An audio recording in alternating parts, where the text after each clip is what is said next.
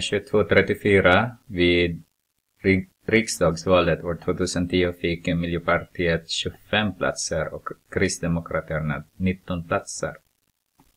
Av de totala 349 platserna. Hur många procent fler platser fick Miljöpartiet jämfört med Kristdemokraterna? Vi kollar. Vi skulle titta bara på skillnaden mellan dem då och den du jämför med. Det är inte riktigt. Här är A. Eh, det skulle bli skillnaden är det 25. Så med 19 dividerat med, jämfört med, jämfört med kristdemokrati.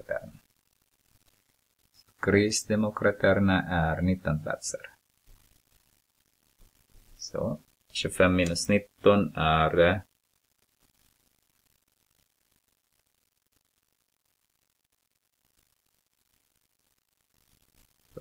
titta på. 25 minus 19 är 6. 6 19 delar är 6 dividerat med 19. Då har vi 0,316 eller 31,6 procent. Vad är det enda? Fler. Sorry. B det är fortfarande skillnaden, men vi jämför den här gången med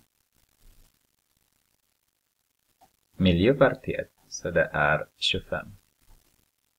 Så har vi 6 dividerar med 25. Så har vi 0,24. Eller 24 procent färre